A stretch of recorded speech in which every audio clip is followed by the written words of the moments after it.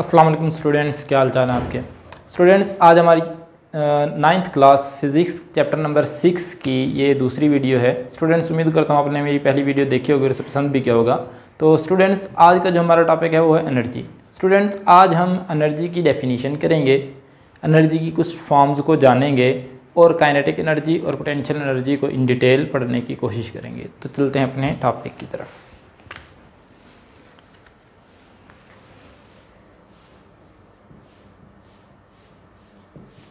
Energy students सबसे पहले हम एनर्जी को डिफाइन करते हैं.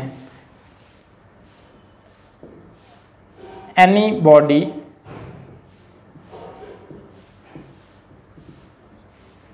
which is capable of doing work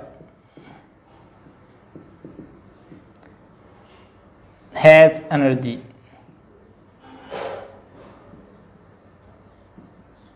अब इसका क्या मतलब है?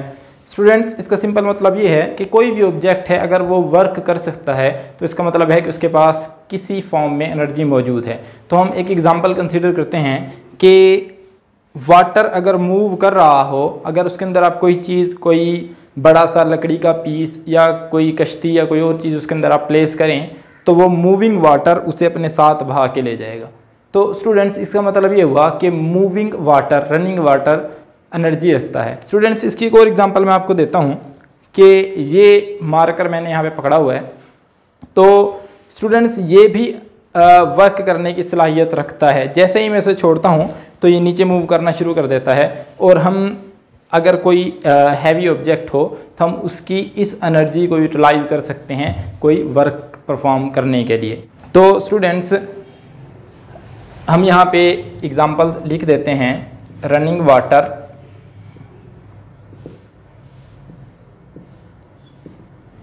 रनिंग वाटर और दूसरी हमारी एग्जांपल है रेज्ड ऑब्जेक्ट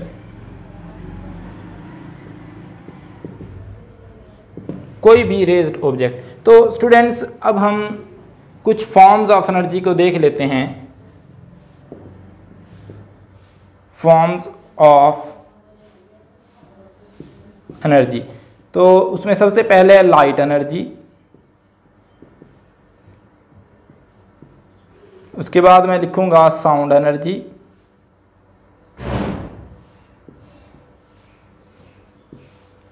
उसके बाद heat energy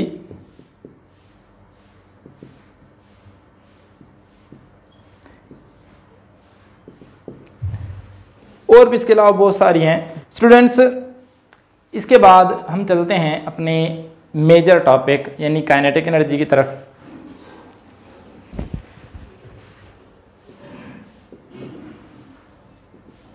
kinetic energy students मैं सबसे पहले काइनेटिक एनर्जी की डेफिनेशन करना चाहूँगा और फिर उसके बाद मैं इसकी डेरिवेशन भी करूँगा। काइनेटिक एनर्जी को हम इस तरह से डिफाइन करते हैं। Energy possessed by a moving object is called kinetic energy. Students अगर कोई भी ऑब्जेक्ट मूव कर रहा हो तो उसके अंदर जो एनर्जी होगी, उसे हम काइनेटिक एनर्जी कहेंगे। मैंने जैसे एग्जांपल पहले दी कि पानी अगर मूव कर रहा हो तो उसकी एनर्जी को हम काइनेटिक एनर्जी कहते हैं। इसके अलावा अगर हवा चलती है तो उसकी एनर्जी भी काइनेटिक एनर्जी होती है। अगर मैं इस ऑब्जेक्ट को जब तक मैंने यहाँ पे होल्ड किया हुआ है, इसकी एनर्जी पोटेंशियल एनर्जी है जो कि हम हमारा नेक्स्ट टॉपिक है, जैसे ही मैं इसे छोड़ता हूँ तो इसकी पोटेंशियल एनर्जी कन्वर्ट होना शुरू हो जाती है। काइनेटिक एनर्जी में चूँकि मूव करना शुरू कर देता है। तो स्टूडेंट्स आप कंसीडर करें कि हमारे पास एक ऑब्जेक्ट है, जिसका मैस एम है और ये मूव कर रहा है with initial velocity V I तो स्टूडेंट्स आप कंसीडर करें कि इसके ऊपर एक फोर्स एफ़ एक्ट करती है। लेट से एक रेजिस्टेंस की फोर्स तो स्टूडेंट्स उस फोर्स की वजह से इस, इसकी लेट से वेलोसिटी वी एफ़ ज़ीरो हो जाती है। तो स्टूडेंट्स अब हम फाइंड करना चाहते हैं इसकी काइनेटिक एनर्जी का एक्सप्रेशन तो मैं यहाँ पे डाटा लिख देता हूँ।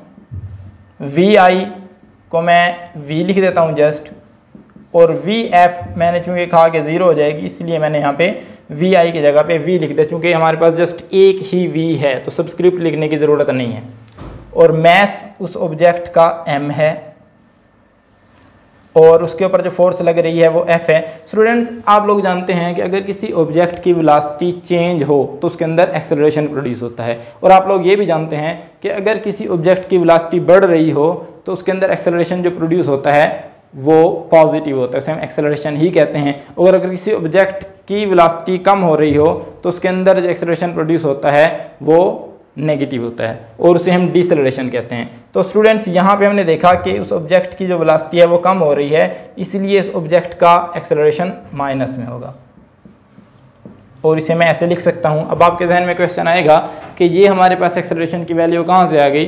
तो स्टूडेंट्स आप लोगों ने सेकेंड लॉ ऑफ़ मोशन पढ़ा है F is equal to M A G, यहीं से मैंने ए की वैल्यू निकाली है जस्ट एम को आप दूसरी तरफ़ डिवाइड कर देंगे तो आपके पास एक की यही वाली वैल्यू आ जाएगी। और यहाँ पे माइनस साइन ये बात इंडिकेट कर रहा है कि इस ऑब्जेक्ट की वेलोसिटी डिक्रीज हो रही है, जैसा कि हमने ऊपर कंसीडर किया है।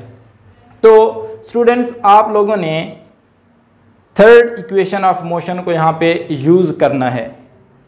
जो हमने तीन इक्वेशन ऑफ़ मोशन पढ़ी थी, उसमें से थर्ड इक्वेशन ऑफ़ मोशन को हम यूज़ करेंगे, जो कि है two a s is equal to v f square minus v i square तो स्टूडेंट्स कुछ नहीं करना जस्ट यहाँ पे इनकी वैल्यूज़ को सब्सिट्यूट करना है।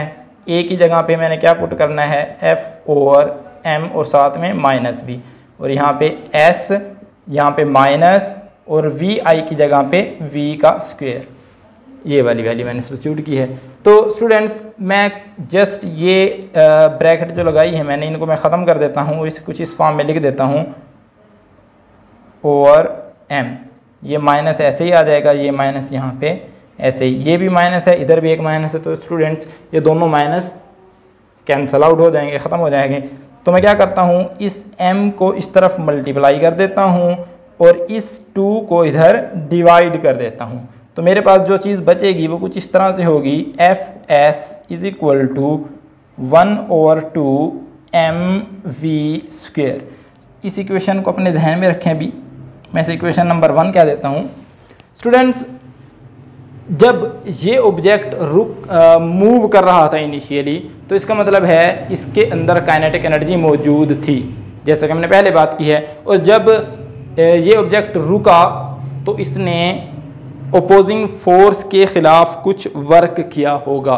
वही वर्क हम उसी के लिए हम एक इक्वेशन लिखते हैं। तो kinetic energy of object will be equal to work done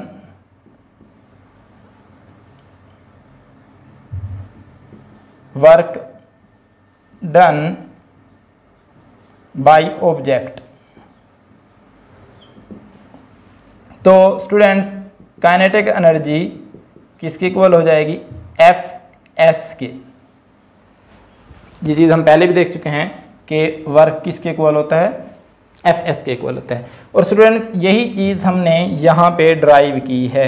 यही चीज़ हमने यहाँ पे देखी है। इसका मतलब ये हुआ कि एफ़ एस इक्वल है काइनेटिक एनर्जी के तो मैं यहाँ पे काइनेटिक एनर्जी लिख सकता हूँ। ये हो जाएगा one over two m v square. ये स्टूडेंट्स हमारे पास काइनेटिक एनर्जी का एक्सप्रेशन आ गया है। इसके बाद हमारा जो नेक्स्ट टॉपिक है वो है potential energy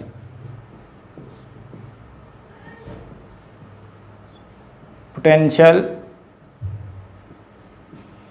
energy students मैं सबसे पहले पोटेंशियल एनर्जी को डिफाइन करना चाहूँगा। पोटेंशियल एनर्जी को हम इस तरह से डिफाइन करते हैं। Energy possessed by a body due to its position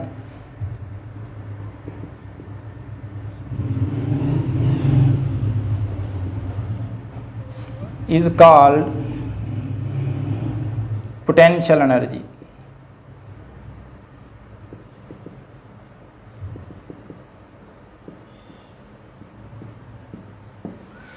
students अब इसका क्या मतलब है? स्टूडेंट्स अगर आप लोग गौर करें मैं एक ऑब्जेक्ट को इस जगह पे होल्ड करके रखता हूँ। जैसे ही मैं इसे छोड़ता हूँ ये नीचे मूव करना शुरू कर देता है। इसका मतलब ये है कि इसके अंदर एक एनर्जी मौजूद है।